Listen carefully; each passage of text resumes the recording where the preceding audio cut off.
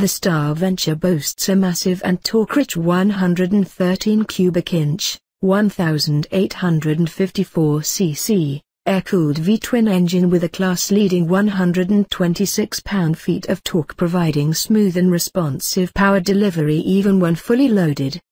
The huge torque and relaxing V-twin pulse are complemented by lightweight forged alloy pistons, carefully tuned twin counterbalancers and advanced composite engine mounts, which combine to deliver a smooth and comfortable ride on long days in the saddle while reducing fatigue.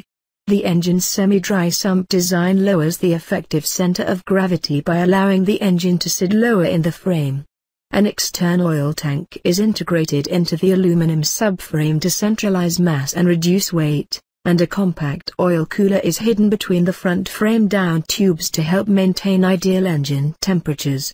The Star Venture raises the bar to the highest level yet in this, luxury touring motorcycle, category with unprecedented levels of comfort convenience and performance.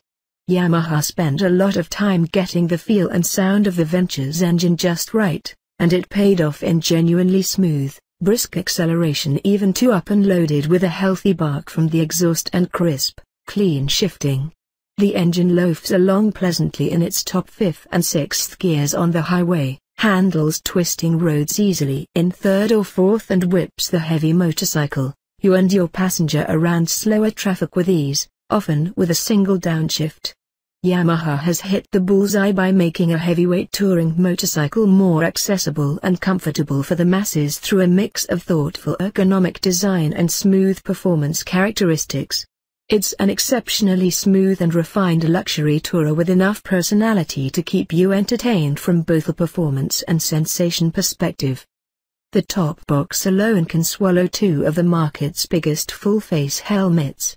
I stuffed an entire backpack in a saddlebag, and there are nooks for both the passenger and the rider galore. The sound quality was clear through the intercom, and through the bike's speakers excellent.